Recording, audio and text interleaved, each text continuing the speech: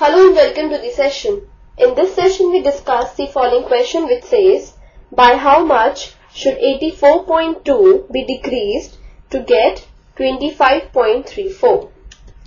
Let's move on to the solution now. To find out that by how much should 84.2 be decreased to get the result as 25.34, we need to subtract 25.34 from 84.2. To do the subtraction of these two decimal numbers, first we need to convert the given decimal numbers to like decimals. That is, we need to make the decimal places of both the decimal numbers as same. So, 84.2 could be written as 84.20 minus 25.34. Now, these two decimal numbers are like decimals. Now, we arrange both these decimal numbers in such a way such that the smaller of the two numbers come under the larger one in the column form.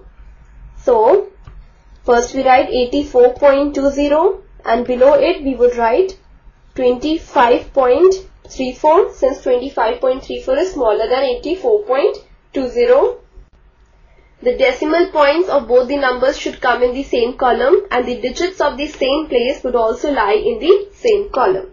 So we have arranged the numbers in this way. Now we can subtract these two numbers as we subtract the whole numbers. On subtracting both these numbers we get 5, 8, 8, 6 and we put the decimal point directly under the decimal point of the given numbers. That is we put the decimal point here. So 58.86 would be the answer when we subtract both the decimal numbers. So we can now say that 84.2 should be decreased by 58.86 to get 25.34.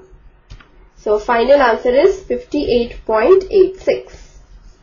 This completes the session. Hope you have understood the solution for this question.